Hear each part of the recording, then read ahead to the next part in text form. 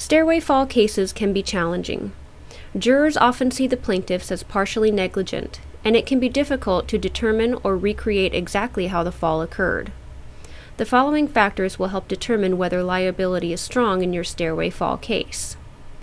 Do you see anything irregular or uneven about the stairs, like varying width, depth, or riser height? Loose handrail, worn surface, defects in the nosing? Did a loose object on the stairway cause the fall, such as a roller skate, a golf ball, a tool? Was the stairway poorly lit? Were any changes made to the stairway after your fall? What were you doing immediately prior to the fall? Were you carrying anything? Talking? Looking elsewhere? Mentally distracted? On your cell phone? Performing any act that may alter the liability situation? Did you have anything to drink or take any drugs before your fall? Do you have an impairment that may have made you more susceptible to a stairway fall?